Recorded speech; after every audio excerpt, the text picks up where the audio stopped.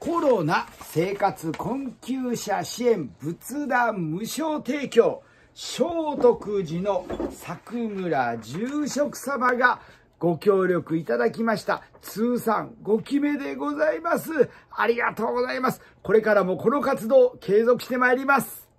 金箔が吹いても剥げない国産仏壇。お仏壇の販売が転職長田後期でございます。2022年、今日は2月の20日、おちょうど222ですね。今6時に5分の朝動画。今日は一度風が冷たくて寒いございます。はい。ありがたいことにですね、聖徳寺の作村住職様、あの、当店、あの、コロナ生活困窮者様に仏壇を無料で提供しております。やはりあの、今までですね、お仏壇が、でご飯が食べてこられました。宗教のおかげでございますし、熊本のお客様のおかげでございます。ですから、ご恩返しということでですね、あの、私はお仏壇無償提供しております。あの、人吉豪雨被災者には300機お届けいたしました。で、あの、これからもこの活動は継続してまいるんですけど、聖徳寺の佐久村住職様がですね、あの、それにご協賛いただいてですね、ご協力いただいております。もう本当にありがとうございます。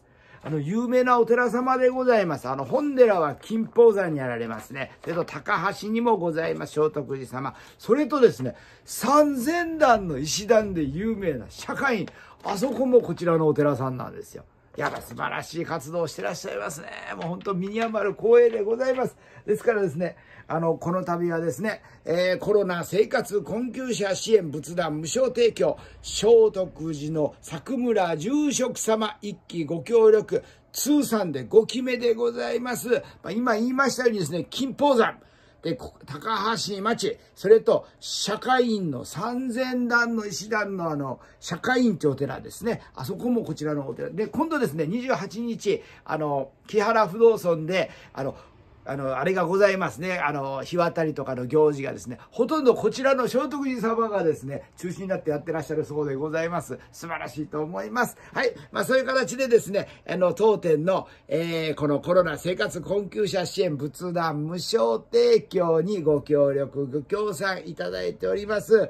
もう本当にありがたいと思います。あの、今こそですね、仏壇とか神棚とか宗教の時代が来ていると思います。皆さんさんコロナで大変な思いをしてらっしゃる方もいらっしゃると思います。そういう時こそですね、どうぞ頼ってみてください。宗教の力にですね、お仏壇を拝んでください。神棚を拝んでください。そしてですね、近所のお寺様とか神社さんにですね、相談してみてください。そうすればですね、まずはこう、言葉に出してアウトプットするだけでも心が軽くなりますしね、自分の頭の中が整理できて、いいアイデアが浮かぶかもしれません。それと、お寺様方は人生経験豊富でいらっしゃいますから、いいアドバイスがありますよ。まあそういう形でですね、今こそ宗教の時代、ライフワークとしてですね、この、えー、この無償提供、お仏壇無償提供を継続してまいります。あの、24時間電話を受け付けてます。096-329-0224。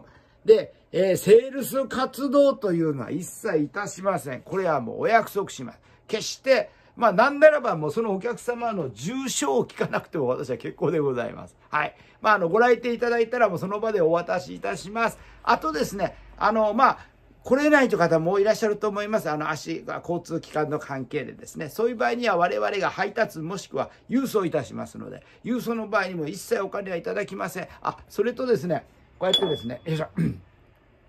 仏具も一式ですね、サービスでお付けしておりますので、一つ皆様よろしくお願い申し上げます。あの、人吉の被災者様からはですね、こんなにたくさんのお喜びのハガキをいただいております。もう私こそですね、あの、支えていただいておりますので、一つ皆様よろしくお願い申し上げます。はい、ここまでこの動画を見ていただいてありがとうございます。皆様の開運ごあってんお祈り申し上げます。